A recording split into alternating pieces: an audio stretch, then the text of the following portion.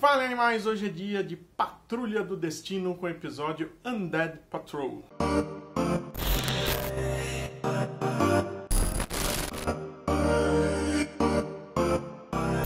O episódio abre com Kipling reanimando a cabeça do chefe. E algo parecido aconteceu nos quadrinhos. Ao finzinho da fase do Grant Morrison escrevendo a patrulha, o chefe tem a sua cabeça arrancada pelo candelabro, aquele monstro que a Dorothy criou. Só que o chefe não morreu. O Dr. Will Magnus, que ajudou ele a criar o corpo do Homem-Robô nas HQs, faz um corpo robótico para ele. Só que o problema é que isso acontece na mesma época que é revelado que o chefe causou os acidentes que criaram a patrulha. Tomado pela culpa, ele tenta se matar e arranca a própria cabeça do corpo robótico. Mesmo assim, ele não morre e continua vivendo só como uma cabeça mantida preservada no gelo. Nessa mesma cena, o chefe cita a criatura do reverendo Lowell. E aí é uma referência não aos quadrinhos, mas uma mitologia do mundo real. O tal rabino que viveu no século XV faz parte da lenda do Golem. Tal lenda diz que ele criou a criatura Golem para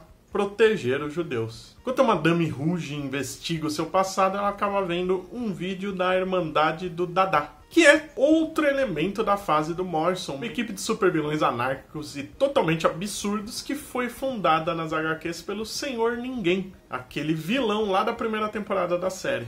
Nesse vídeo a gente vê uma das integrantes da equipe, que é a Shelley Byron, que não existe exatamente nos quadrinhos. Nos quadrinhos tem um nome inverso, o Byron Shelley, que era o vilão conhecido como Bruma. Já com a Patrulha do Destino transformada em zumbis, o Kipling chama o Homem Negativo de Bubba Hotep, que é uma citação ao livre filme do mesmo nome, onde um Elvis e um John Kennedy velhinhos num asilo enfrentam uma múmia, e por isso o nome Bubba Hotep. Esse episódio o Kipling tá bom de apelidar os personagens, chama a Patrulha de Solomon's Grundis, que é uma referência ao vilão zumbi também, Solomon Grundy, que está atualmente na série da Stargirl. Ao fim do episódio, a gente vê que o chefe e a Madame Rouge se conheceram e o chefe odeia ela. Nos quadrinhos, eles tiveram um relacionamento mais complicado. Como eu disse no vídeo anterior, ela era uma das maiores inimigas da patrulha, porém, ela tinha dupla personalidade e o chefe se apaixonou pela personalidade boa. Em mais de uma ocasião, tentou deixar essa personalidade no comando, às vezes conseguia, às vezes não, e o conflito de personalidades era tão grande que às vezes vezes elas se manifestavam ao mesmo tempo no corpo dela. Por um tempo, ela ficou ao lado do chefe, eles tiveram um romance e ela virou aliada da patrulha, mas não durou muito. Bom, por hoje ficamos por aqui. Deixe seu like, se não for inscrito no canal, se inscreva agora. Deixe seus comentários sobre o que você está achando dessa temporada ainda mais maluca da série e até o próximo vídeo.